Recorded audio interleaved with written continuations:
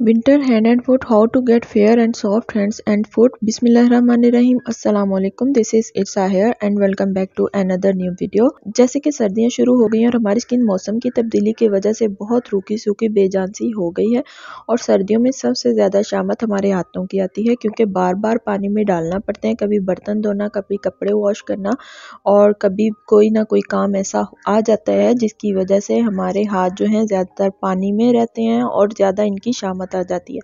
और जब हमारे हाथों की स्किन रफ़ और बेजान सी हो जाती है तो हमें बहुत बुरा लगता है। और हाथ देखकर इतना, मुझे तो अपने हाथ देखकर इतना बुरा सा फील होता है ना कि रूखे सूखे झुरियाँ पड़ी हुई, इतने बेजान से आप वीडियो में भी देख सकते हैं। कि इतने बुरे हो जाते हैं कि आप सोच भी नहीं सकते। खैर, परेशान होने की बात बिल्कुल भी नहीं है। आज की वीडियो हाथों पर ही है।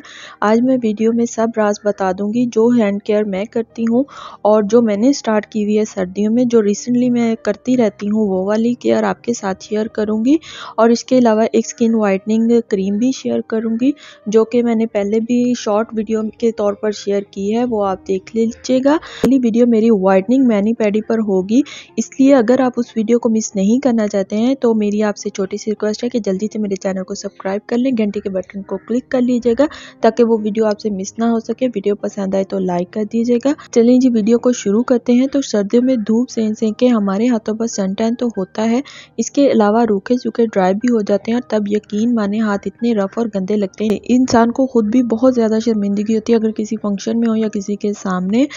इस वीडियो में मैं जो भी केयर आपको हाथों की बताऊँगी, वही आपने सेम स्टेप अपने पाँव पर भी करने हैं। पाँव को हमने बिल्कुल नहीं भूलना, नहीं तो वाज दफ़ा ये सुनने को मिलता है कि जो क्रीम आपने अपने मुँह पर हाथों पर लगाई है, वो पाँव पे भी लगा लेनी थी। खैर, एक पर तो आपने रोज़ाना लोशन लगाना है लोशन आपने नहीं भूलना है। जब भी आपने पानी में काम करना है तो उसके बाद फ़ौरन आपने कोई भी ग्रीसी सा लोशन लगा लेना है। और ज़्यादा ग्रीसी ना भी हो तो भी चलेगा। मैं आपको यहाँ पर ये वाला लोशन रेकमेंड करूँगी, ये बहुत ही ज़बरदस्त है इसके अलावा आप वैजलिन का लोशन भी ले सकते हो। इसमें खीरा है और एलोवेरा जेल भी है। ये आपकी स्किन को सॉफ्ट और हाइड्रेट रखता है और जल्दी आपकी स्किन में ऑब्ज़र्व हो जाता है। पीछे बहुत ज़्यादा शोर आ रहा है उसको अवॉइड कीजिएगा क्योंकि हमारा घर जो है वो मेन सड़क पर है और आज मैं दिन के टाइम में वॉइस रिकॉर्ड कर रही हूँ क्योंकि मेरी पहली वॉइस ओवर जो है वो डिलीट हो गई थी।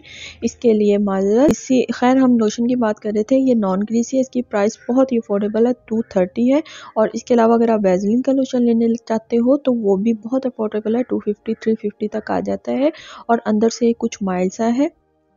अच्छा तो पहले बात हम हाथों की कर लेते हैं कि जब भी आपने वॉश करना है लोशन लाजमी लगाना है और इसके बाद आपने हाथों को हफ़्ते में तीन बार मसाज करना है। मसाज करने के लिए आप वाइजलिन ले लो या फिर आप ग्लेसरीन ले लो।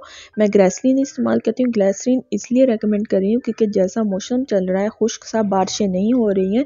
इसकी वजह से हमारे बात बहुत ड्राई और रफ हो जाते हैं। तो ग्लेसरीन हमारे हाथों को सॉफ्ट एंड स्मूथ कर देती है। अलावा आपने हर पंद्रह दिन के बाद मैनिक्योर और पेडिक्योर ज़रूर करना है। उसकी वीडियो इंशाल्लाह अगली होगी। उसको आपने बिल्कुल भी मिस नहीं करना है, ताकि आपके हाथ और पाँव खूबसूरत हो जाएँ।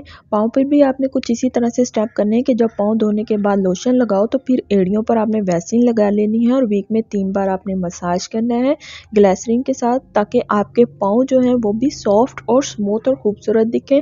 और उसके बाद आपने सॉक्स लाजमी पहन लेनी है और जूता ऐसा पहनना है जो सॉफ्ट हो, पाँव को तकलीफ़ ना दे, ठीक है? और ज़्यादा गर्म पानी आपने इस्तेमाल नहीं करना क्योंकि ज़्यादा गर्म पानी आपकी स्किन को बहुत ड्राई कर देता है रफ़ कर देता है और बेजान सा कर देता है। इसके अलावा आपने स्क्रब करना है। आप चीनी या शक्कर में लेमन डालकर भी कर सकते हो। अगर आप चीनी या शक्कर में लेमन डालकर स्क्रब नहीं करना चाहते, इससे भी अच्छा स्क्रब करना चाहते हैं, जो कि मैं यूज़ करती हूँ, शक्कर और चावल वाला तो फिर आपने ऐसा करना है कि शक्कर और चावल बराबर क्वान्टिटी में मिक्स करके रख लेना है। जब भी आपने मतलब इसको आप वॉशरूम में ही रख लो कि जब भी आप हाथ वॉश करो तो इसके साथ आप स्क्रब कर लो, ये आपके हाथों को बहुत फेयर कर देता है। और आपने पानी का इंटेक ज़्यादा लेना है, कम से कम आठ ग्लास तो आपने लाजमी पीने हैं। पानी भी आपकी स्किन को सॉफ्ट और वाइट कर देता है, क्योंकि हमारी बॉडी में सत्तर फ़ीसद पानी होता है। इस वीडियो को यहीं पर ख़त्म करते हैं। मैं आपसे मिलूँगी अब अगली मैनी पैडी की वीडियो में। अगर आप इस वीडियो को मिस नहीं करना चाहते तो चैनल को सब्सक्राइब कर लें। ये मेरे इंस्टाग्राम का हैंडल है। यहाँ पर मुझे फॉलो कर लें। आप मुझे यहाँ पर मैसेज कर सकते हो। किसी भी स्किन या हेयर से रिलेटेड कोई भी इशू है तो आप मैसेज कर सकते हो। मैं आपको रिप्लाई देने की पूरी कोशिश करूँगी। अल्लाह हाफिज़। Till my next video be strong be beautiful असलकुम